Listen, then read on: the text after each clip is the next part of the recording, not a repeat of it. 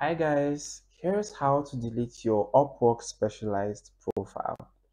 So the first step is to um, sign into your Upwork account and then right here where it says find work, uh, click on profile and once you click on profile, you can see your main profile and your specialized profile right here. Okay, so right now I can click right here on this pencil.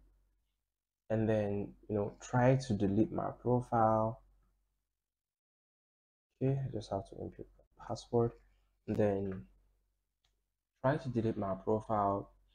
As you can see right here um right here under specialized profile I have just one out of two.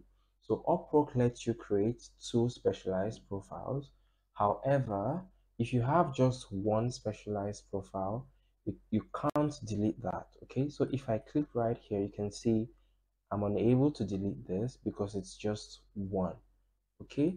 So to delete your specialized profile you have to create another specialized profile because Upwork likes it when freelancers have at least one specialized profile. So you won't be able to delete this if it's the only one you have you'd have to create another one and then you're able to delete either of them okay?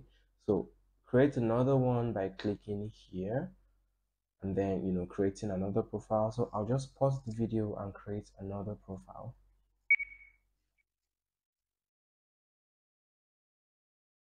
Okay so right now i've created a second profile and i now have two specialized profiles okay I can then go ahead and delete anyone that I want. You can see the delete button right here and just delete.